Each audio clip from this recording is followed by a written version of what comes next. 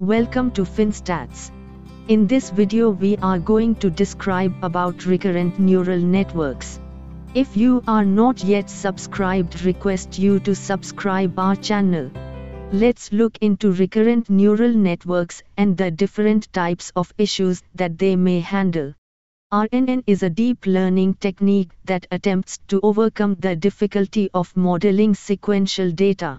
What exactly does sequential data imply? The data is considered to be sequential when the points in a data set are dependent on the prior points. RNN use cases. Let's look at some of the RNN's most common uses. Take stock price data as an example, it is sequential, and the price of the stock tomorrow is determined by the price today.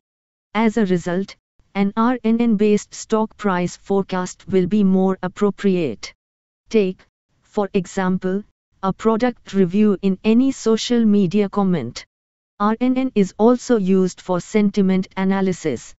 RNN can read the comments in order and provide the emotion, positive or negative. The next word in a sentence can be predicted using an RNN. We have seen this technology in a variety of settings, including social media comments, SMS messages, and so on. The word that is recommended in this scenario is very reliant on the previously inputted words and the context of the message. Another interesting and increasingly popular application of RNN is speech to text.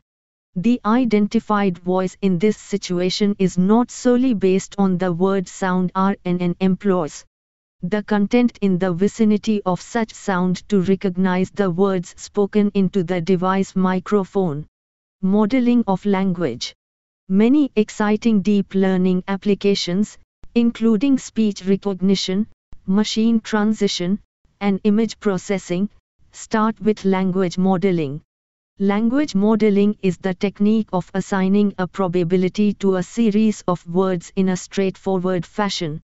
For example, a language model could look at a list of words and anticipate which one will come next. The context is formed by the sequence of words, with the most recent word serving as the input data.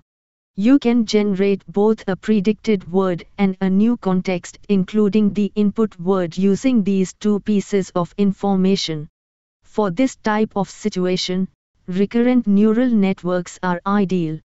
The vectors, matrix vocabulary, in the RNN model are randomly initialized for all of the phrases that will be used for training. The vector values are then modified during recurrent network training dependent on the context into which the word is being put. As a result, words that are employed in comparable situations end up having similar vector space positions. Thanks for watching the video. For more information visit finnstats.com. Don't forget to show your love please subscribe and support.